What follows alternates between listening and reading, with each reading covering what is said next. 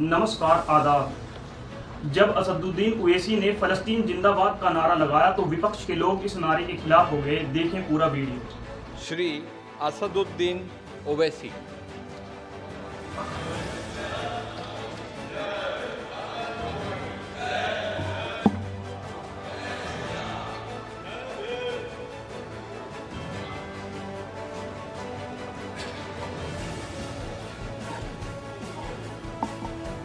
नहमद रसूल करीम अम्माबाद फ़ाउज़बिल्लिमिनशैतानरजीम बसमीम मैं असदुद्दीन अवैसी जिसे लोकसभा का रुकन मंतखब किया गया है, अल्लाह के नाम से हल्फ उठाता हूँ कि मैं भारत के आइन पर, जो क़ानून के मुजब तय पाया है एतक़ाद रखूँगा, उसका वफ़ादार रहूँगा, मैं भारत के इकतदार आला और सालमियत को बरकरार रखूँगा, और जिस अहदे को मैं संभालने वाला हूँ इसके फ़रज़ और वफ़ादारी से अंजाम दूँगा।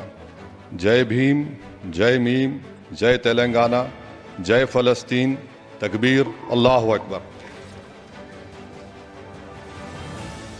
और अगर असदुद्दीन ओवैसी ने फलस्तीन जिंदाबाद का नारा लगाया तो एनडीए के सांसद ने हिंदू राष्ट्र जिंदाबाद का नारा भी लगाया तो क्या उसने गलत नहीं किया?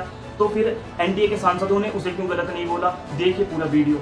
छत्रपाल सिंह गंगवार जो लोकसभा का सदस्य निर्वाचित हुआ हूँ, ईश्वर की शपथ लेता हूँ कि मैं विधि द्वारा स्थापित भारत के संविधान के प्रति सच्ची श्रद्धा और निष्ठा रखूँगा।